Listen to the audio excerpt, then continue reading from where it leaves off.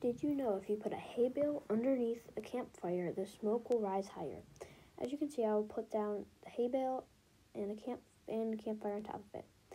As you can see, the smoke is not rising faster, but it will indeed rise a lot higher than the normal one. As you can see, it is rising a lot higher than the normal one.